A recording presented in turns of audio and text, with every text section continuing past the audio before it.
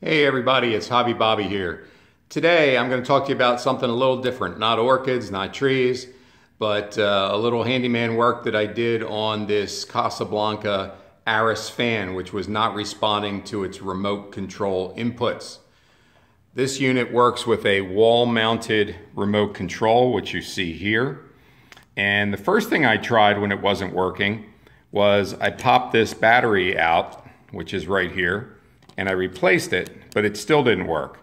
So then I went down to the basement and I shut the power off to this particular circuit for about five minutes.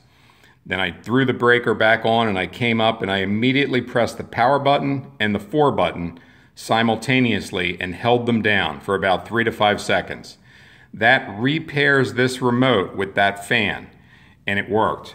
It then restarted the spin and now responds to input. Press the one